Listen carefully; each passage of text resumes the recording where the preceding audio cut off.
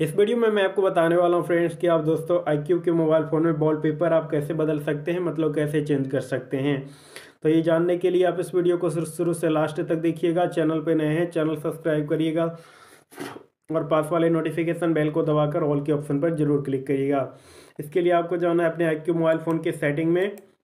और सेटिंग में जाकर यहाँ पर आपको नीचे आना होगा। नीचे आने पर लॉक स्क्रीन एंड वॉलपेपर का ऑप्शन मिलता है। इस पर क्लिक करेंगे। इसमें आपको यहाँ वॉलपेपर का ऑप्शन मिलता है। इस पर आप क्लिक करिए। तो उसके बाद देखिए, यहाँ पर आपके सामने फ़ोन के बहुत से दोस्तों वॉलपेपर आ जाएँगे। तो अब आपको चेंज करके जो वॉलपेपर लगाना है तो उसको लगाने के लिए उस पर आप क्लिक करिए।